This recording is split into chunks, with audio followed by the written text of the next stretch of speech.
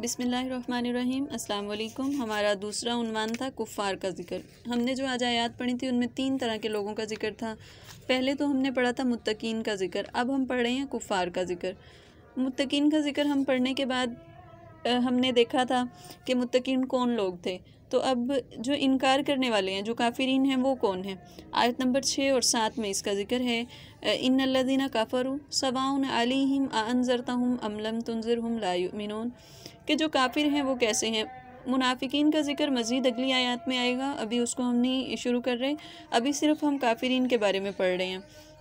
ये कुफ़ार जो हैं, ये इनकार करने वाले हैं दावत हक़ का, अहले हक़ का अल्लाह रब्बुल का, अल्लाह रब्बुल के कलाम का, आप सल्लल्लाहु अलैहि वसल्लम का, या फिर मज़ीद दूसरे अम्बिया का, किताबों का। ये मुख्तलिफ़ चीज़ें जो इस्लाम की असास हैं, जो बुनियाद हैं, उनमें से किसी भी चीज़ का इनकार करना कुफ़र है। और कुफ़र और निफाक में ये फ़र्क है कि काफिर जो होता है, वो हट धर्म होता है।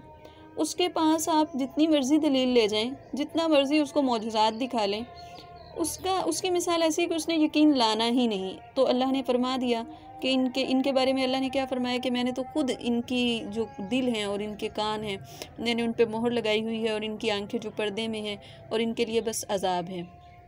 और आप सल्लल्लाहु अलैहि वसल्लम परेशान रहते थे, लोगों को दावत देते थे, अल्लाह के नबी रहमतुल्लिल आलमीन थे और वो चाहते थे कि तमाम उम्मत जो है वो अजाब से बच जाए, आग से बच जाए और अल्लाह उनको अपनी आफ़ियत में अपनी पनाह में ले लें।